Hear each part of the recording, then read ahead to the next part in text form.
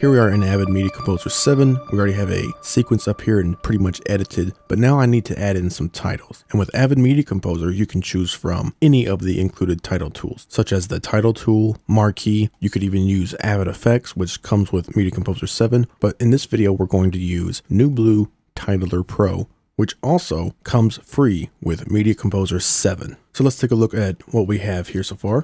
In this video, we're going to look at how to import BFD Okay, so this is the very beginning of the video, so of course I want to have a title coming up saying exactly what's happening. And to do that with NewBlue FX Titler Pro, we'll simply just come up here to our effects. Now I can grab this and I can put this directly on my content, right on my video track if I want, but this is not actually how I work. Then I could come to my effects mode and launch the user interface. And you can see if I do it this way, that Titler Pro is covering the entire timeline, and that's not, not what I want. Although you could do it like this, so I'll hit Control A to select all my text and just say my intro. All right. And then we'll quickly come to the library here and just add a style. So this is easier to see. We'll just grab this. We'll just double click it. There we go. And then since NewBlue Titler Pro is covering the entire timeline, we only want this covering the intro. So I could simply grab this track within NewBlue Titler Pro and then drag it down to just the size that I need which would be around here. So I, and then I could come back to the library and add some transitions here. Scrap a transition.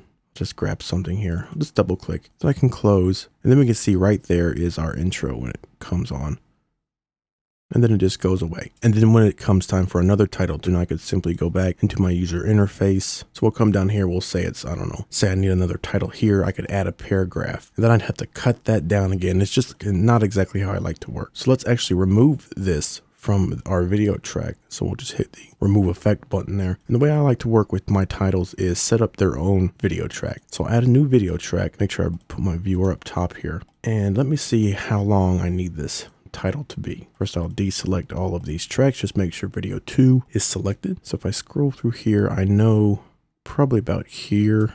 Things like that. So in the pre- Yeah, right about there is where I want my title to end. So I'll make sure I line it up on the exact frame and then I'll just insert and edit and that's mapped to my B key. It may be mapped to a different key on your system, but you can add an edit with this button right here as well. So I'll just hit the B key and now my filler is cut to just the size I need. So then I'll come back and grab Titler Pro, drop it right on my filler. And now it only takes up the exact amount that I need. So let's pop in the user interface and set up this uh, intro here, this title. So in NewBlue FX Titler Pro, it's a really great interface for, of course, making your titles. Lots of things are included in Titler Pro. If we come here to the library, you'll see all of these pre-made styles. We have pre-made shapes, pre-made effects, templates, and transitions that come with the NewBlue Titler Pro that's included again for free with Media Composer 7. So come over to our title. I'll hit Control A to select all my text and let's set this up. This video is about BFD3, so I want my, my intro to say FXpansion because that's who makes it. All right, so that's FXpansion. I want that up here somewhere. And then I'll click the add paragraph because this is going to say BFD3 and I want this larger. And from right here in the interface, I can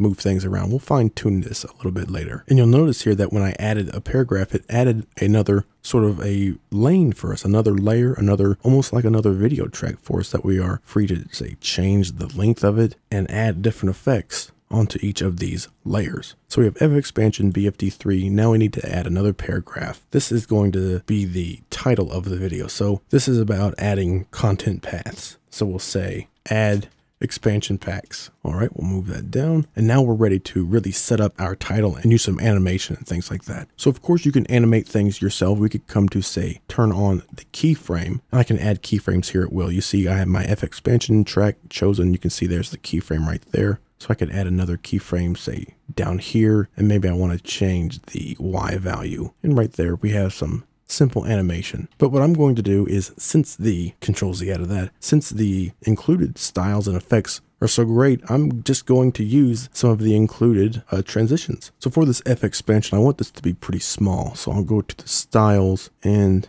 you notice if I just hover over top of one of these pre-made styles, it gives me a little preview there. I want something just kind of simple for this. So just simply double click. You can also drag and drop. I'll just double click. I want this to be sized down pretty, pretty small. I want this at the top. So I'll come to the X. I want this in the center, double click, hit zero. That's pretty good. We can adjust the Y value around there looks pretty good. So now I'll move on to my BFD3 track. I actually want this to start just a little bit after the FXpansion. So probably there. Actually, going to pull it back. There we go, about there. Let's go to styles for this too. Although, you know what? Instead of going to styles for this one, I'm actually going to go to templates and use some of these awesome pre-made transitions that are already set up for us, these templates. So again, if I just hover right over one of these templates, it gives me a little demo of exactly what it's going to look like when it fades in, fades out. There's lots of really great ones in here.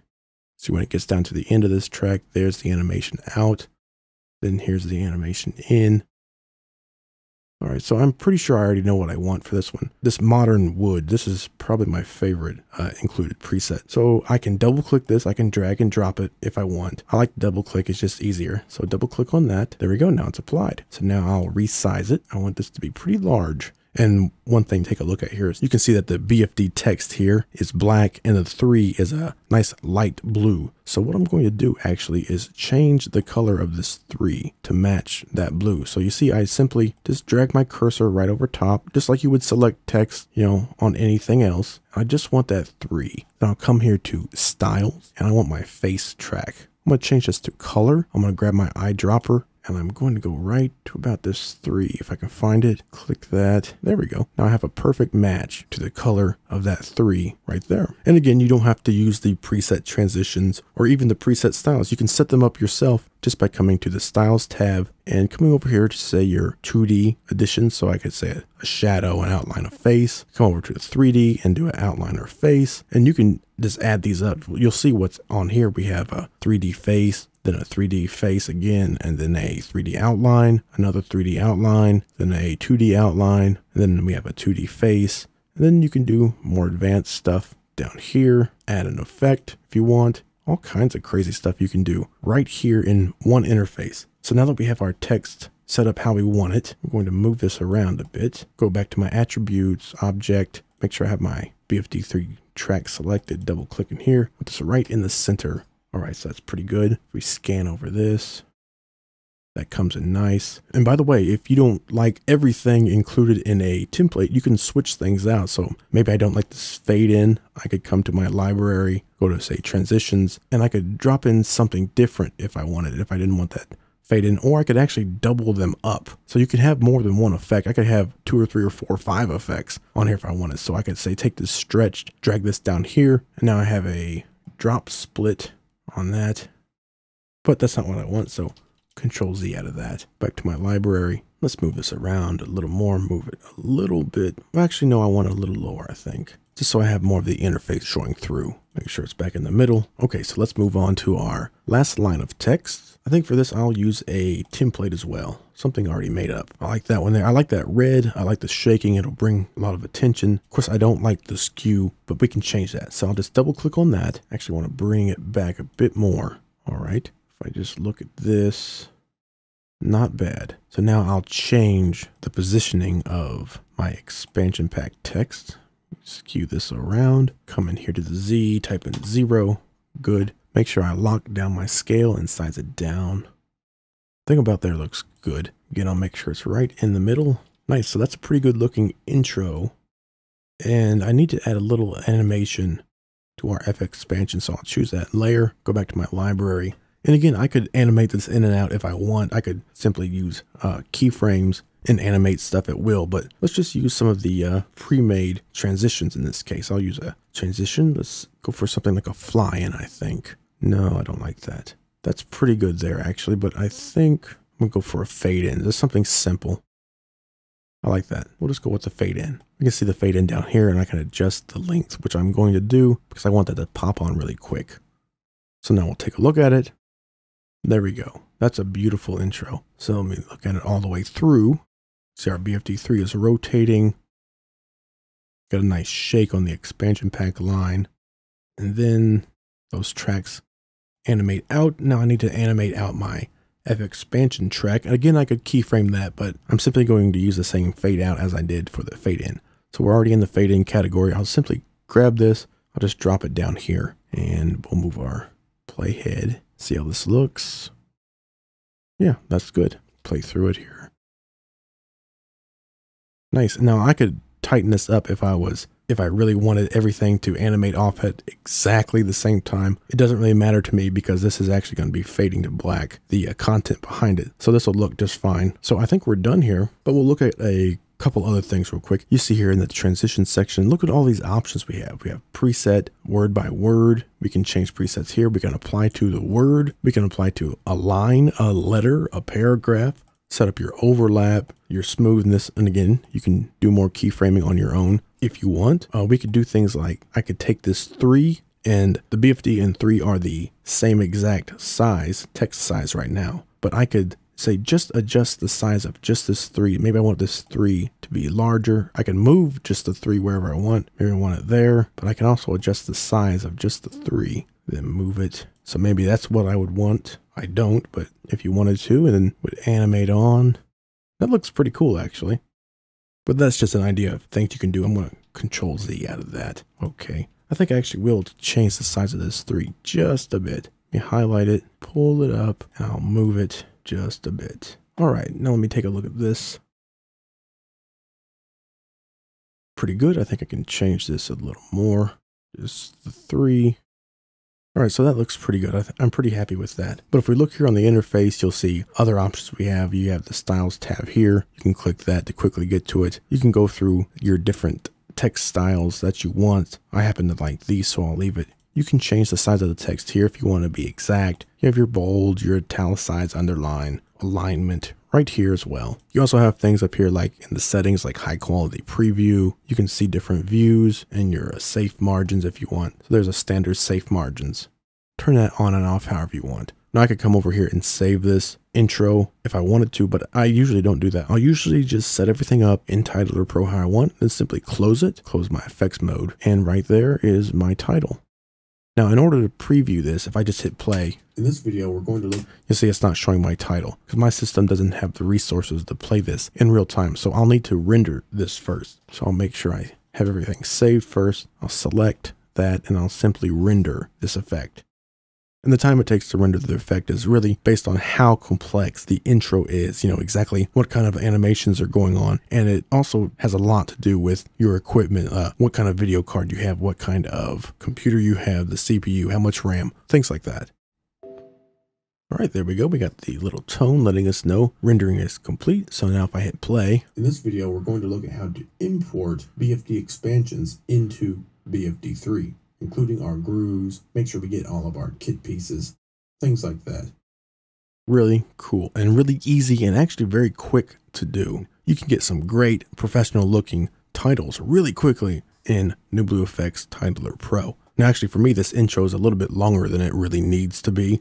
Somewhere for about around probably 8 seconds is fine because I want to show some of the content uh, behind the title uh, before I go into the actual tutorial, right? So I'm actually going to cut this down.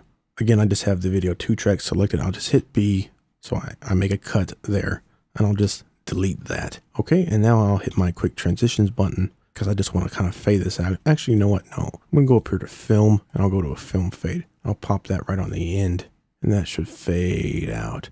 So now that looks really good. Okay, and right here, I'll need a cut, make my edit, my quick transition. I want to dip the color. I want this to be 31 frames. I'll just add and render that. Okay. That. So in the previous speed. Nice. Of course, instead of actually cutting the actual video track title, the filler, I could have simply went back into Titler Pro and just pulled those layers down to the exact length that I wanted them. But this is how I chose to do it this time, just to show that you can edit your titles just like you would like a video track. You can, you know, cut it, add a fade, whatever. Make sure I have my viewer up here. In this video, we're going to look at how to import BFD expansions into BFD3, including our grooves. Make sure we get all. Awesome.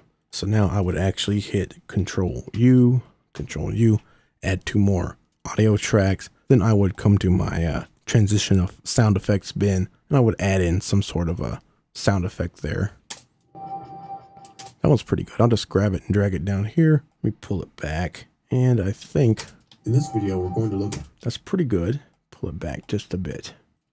In this video, we're going to look at how to, in cool. So then of course I would come to my tools, my audio mixer, and I would turn down that effects track. I don't want it so loud. And I actually want these two tracks to be left and right. Want this a little bit wider. In this video, we're going to look at how to import. That's pretty good. I mean, look at it again. In this video, we're going to look at how to import. Let me tighten it up a little more. In this video, we're going to look at how to import Beautiful. BFD expansions into.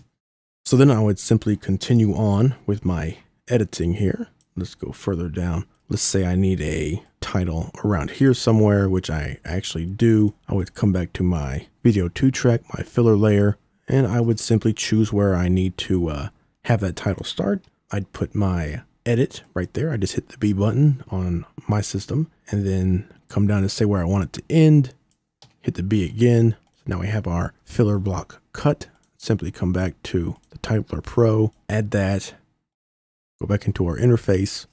I hit Control A, select on my text, and then I'd add my second title. And I would do just like I did the uh, first time I'd set everything up. Maybe I want to use an included template. You know, I don't want to set everything up myself. I'll just use an included template. Just make it real easy on myself, which you can do. These are great templates. I use them all the time. Or if you really want to get in there and make something yourself, you know, you can do that too. Add shapes, you know, let's say add a uh, rectangle here for some reason. You can uh, add templates and effects to that as well. So that is NewBlue Titler Pro. This is version one that is included with uh, Media Composer 7. It's a great titling tool. Really makes it easy to make uh, professional looking titles really, really quickly. And we didn't even cover half of the stuff that you could do with NewBlue FX Titler Pro.